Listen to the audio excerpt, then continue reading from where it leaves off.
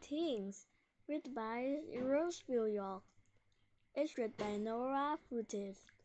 For quick question, what things does Tosh lose, and where does he find them? Tosh likes collecting things. One day a big storm came. When it blew over, his things were gone. Where are my stamps? Tosh asked. He looked on the ground. Where are my books? Tosh asked, looking in the grass. Where are my cups? Tosh asked.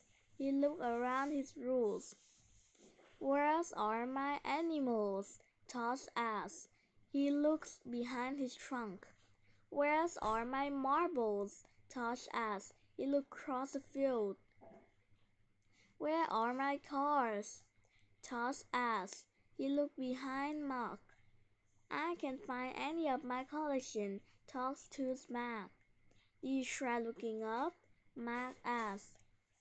Tosh found all his things that were on his branch.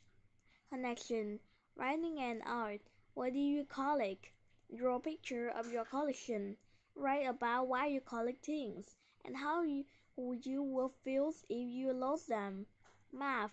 Count the total number of things in each collection and show the information in the bar graph. Compare your graph with the partners.